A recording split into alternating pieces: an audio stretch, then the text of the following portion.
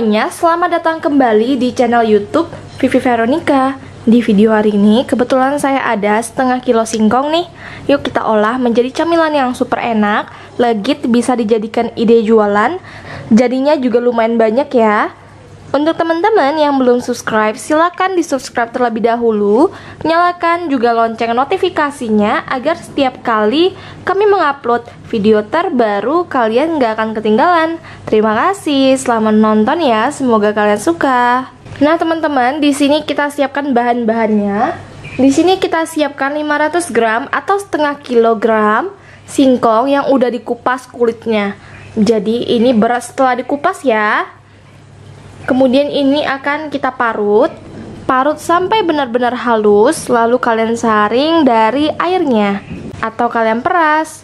Nah kita akan parut terlebih dahulu ya. Nah ini dia singkong yang udah selesai kita parut. Kita parut halus terus kita peras ya. Ini langsung aja kita pindahkan ke mangkuk yang lebih besar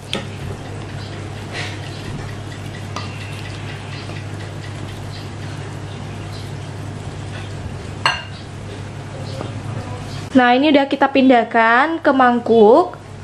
Selanjutnya saya masukin setengah saset agar-agar bubuk yang tanpa warna ya. Ini kita akan pakai setengah saset aja atau setengah bungkus.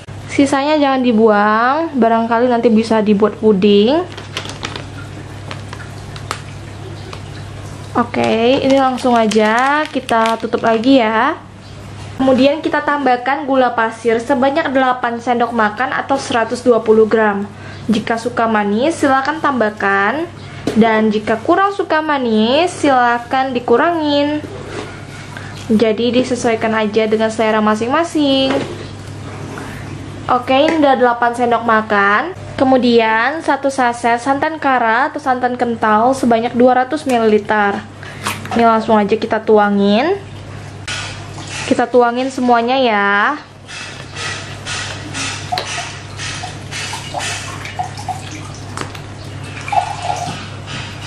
ini kita aduk dulu sampai rata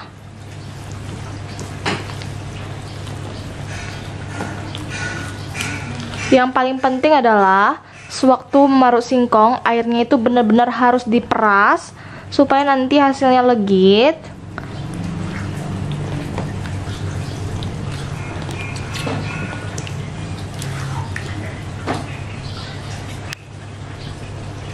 Nah, jadi kalau teman-teman pengen hasilnya lebih padat, pakai agar-agar bubuknya 3 per 4 bungkus, sisakannya sedikit saja. Nah, supaya lebih gurih, saya tambahkan seperempat sendok teh garam. Kemudian ini kita aduk rata kembali.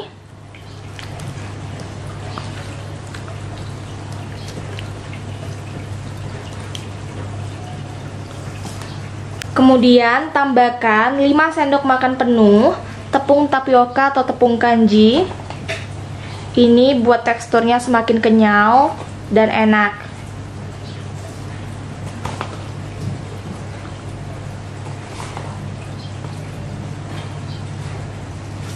Ini kita aduk kembali sampai tidak ada yang menggumpal dari tepung tapiokanya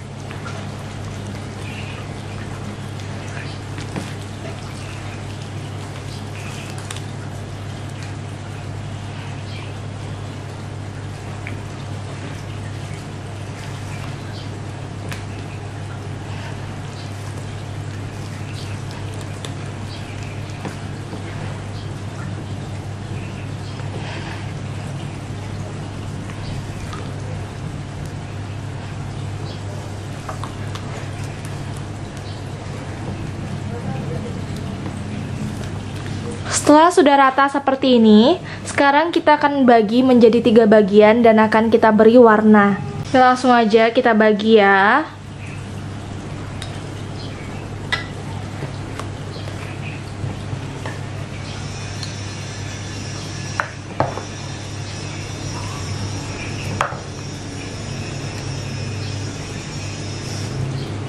Di sini saya akan beri warna merah dulu.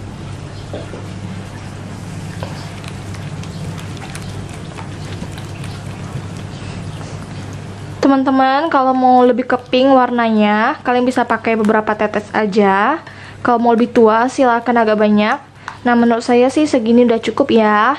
Karena nanti waktu kita masak dia akan menjadi lebih pekat.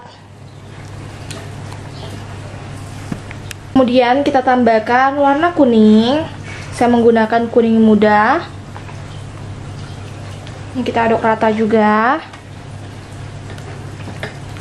Nah, seperti ini aja udah cukup banget.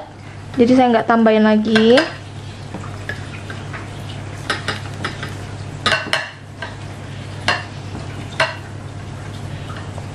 Terakhir saya beri warna hijau. Ini kita aduk juga. Nah, kalau semuanya udah, tinggal kita siapkan cetakan aja. Kali ini saya menggunakan cetakan kecil-kecil. Pastikan udah dioles minyak tipis-tipis ya, supaya lebih gampang nanti waktu ngeluarinnya. Siapkan cetakan kecil-kecil seperti ini. Saya menggunakan motif bintang. Udah saya oles menggunakan minyak supaya nanti nggak lengket. Kemudian kita masukin secukupnya karena kita akan melapis menjadi tiga lapis. Jadi dikira-kira aja ya supaya muat tiga lapis. Ini kita masukin dulu yang warna merah atau pink. Kurang lebih seperti ini aja. Nanti baru kita rapikan pinggirannya. Lakukan sampai selesai ya.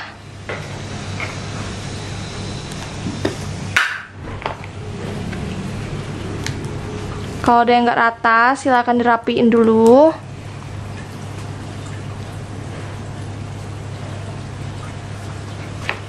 Lakukan sampai selesai. Setelah sudah lapisan pink atau merahnya, kita akan timpa dengan lapisan yang kuning. Jadi kita beri warna merah kuning hijau.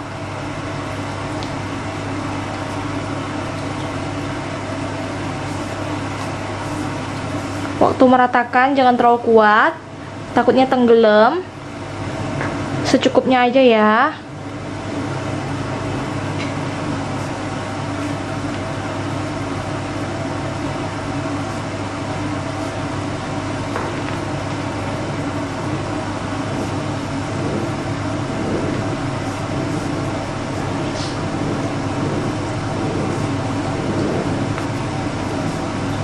Nah, sekarang kita timpa dengan yang warna hijau ya. nanti baru kita ratakan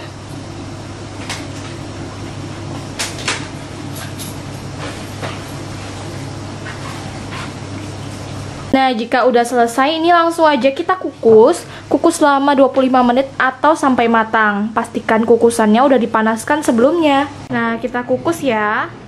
Setelah kita kukus, ini udah matang, kita langsung keluarkan aja dari loyang dan cetakannya jika sudah dingin. Setelah kita keluarkan dari cetakan hasilnya seperti ini, cantik banget, lucu sekali ya. Cocok untuk ide jualan. Sekarang kita akan balurkan dengan kelapa supaya semakin enak dan gurih. Sekarang langsung aja kita balurkan ke kelapa parut yang udah dikukus sebelumnya. Kita lakukan sampai semuanya selesai. Tinggal teman-teman masukin aja ke plastik mika seperti ini, cantik banget, bisa untuk ide jualan. Atau ide snack box ya, rasanya itu kenyal, legit, dan pastinya enak banget. Sekarang langsung aja kita cobain. Tuh waktu saya belah, ini tuh legit banget. Kenyalnya pas, tidak terlembek, warnanya juga sangat-sangat cantik. Terima kasih ya udah menonton video youtube dari kami. Jangan lupa subscribe, like, komen, dan share ke teman-teman kalian ya. Sampai jumpa kembali, semoga kalian suka ya.